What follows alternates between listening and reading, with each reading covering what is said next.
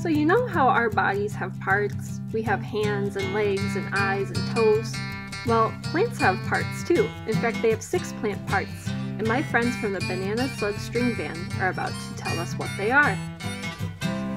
Root stems, leaves, flowers, fruits, and seeds. Root stems, leaves, flowers, fruits, and seeds. Root stems, leaves, flowers, fruits, and seeds. Root stems, leaves, flowers, fruits, and seeds. That's right, plants have six plant parts, and they all help the plant out in different ways as we will come to learn later on. Did you notice the difference between the two different photo sets that I showed? One was of plants and their parts that we don't typically eat, and one was of plants with their parts that we do eat. So for example, when we eat carrots, we're eating our roots. When we eat celery, we're eating stems. When we're eating spinach, we're eating leaves. When we're eating broccoli, we're eating flowers. When we're eating apples, we're eating fruits.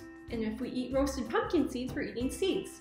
So that just shows us that each plant part is helpful to us as well because we get to eat each plant part. But let's take a closer look and learn how each plant part helps the plants themselves by making our own imaginary plants. So as I'm making my imaginary plant, I'm going to make sure that my plant has these six plant parts, the roots, stems, leaves, flowers, fruits, and seeds. So let's start at the top, or in the plant's case, at the bottom, the roots.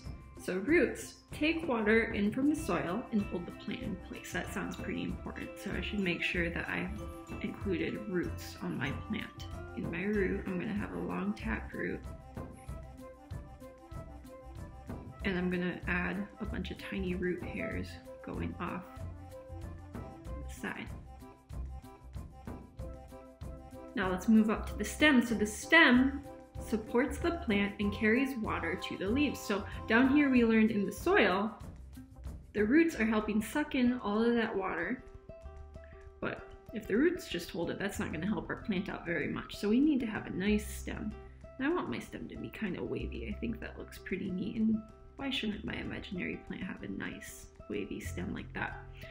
So I have a nice stem there. It's supporting the plant and it's taking all this water that the root sucked up and it's pulling it up to the leaves, which is our next part. So leaves make the food for the plant with sun and air. That sounds pretty important too. We all know that plants need sun, soil, water, and air. And now we know that they need the leaves so they can use the sun and the air.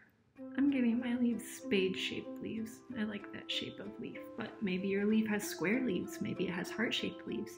Maybe a smiley face leaf, I don't know.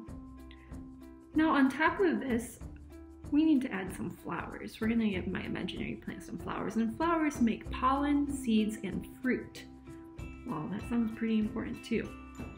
So I'm actually going to have a few different shoots here that could support flowers at the top of our plant. And over here, I'm gonna add our first flower. I'm gonna make these kind of look like tulips. It's almost tulip season. I love tulips. I think they're beautiful flowers. So I'm gonna add one flower that looks a bit like a tulip. And fruits are there to protect the seeds. Have you ever eaten an apple and look inside it to find the seeds? That's because that big apple, that big part of the fruit has seeds in it and that big part of the apple is there to protect all those tiny little seeds inside. So we have a flower. I'm gonna draw my plant's fruit right next to it. You know, I really like hearts, so I'm gonna make the heart fruit heart-shaped. Maybe this plant is called a heart fruit plant because its fruits look like hearts. And then finally, inside our fruit, we have the seeds, which is our last plant part. And seeds, as we all know, will grow into a new plant. So that seems pretty important too, because if our plant didn't make seeds, we couldn't get new plants.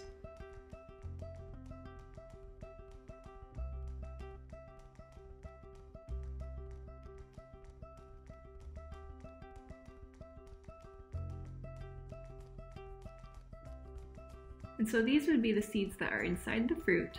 And if you were to open the fruit, you would take them out and you could plant them in the soil to grow another one. And there's my imaginary plant. It has all six plant parts, the roots, stems, leaves, flowers, fruits, and seeds. My imaginary plant, the fruits are edible, um, so make sure you keep that in mind as you make your imaginary plant. Which parts of your plant are edible? Are any of them edible? Leave a picture of your imaginary plant in the comments below. I'd be so interested in seeing it. If you're interested in doing a deeper dive into this lesson, um, this video was based on a FoodCorps lesson called Imaginary Plants. So uh, feel free to click on the link below. It'll take you right to the lesson and you can learn a little bit more about it. Hope you have a great day. Can't wait to see your imaginary plants. Bye!